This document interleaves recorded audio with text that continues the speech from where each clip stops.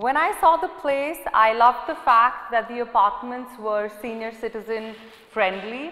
They were spacious, big enough for um, you know just the couple to manage very conveniently. Loved the fact that it had all the amenities right from cafeteria to an amusement or a place where they can go and they can play, they can enjoy themselves, recreation, fitness uh, per se, you have yoga classes. So it was great to see that there were a lot of activities taking place. Plus at the same time, it's in a location which is so fresh.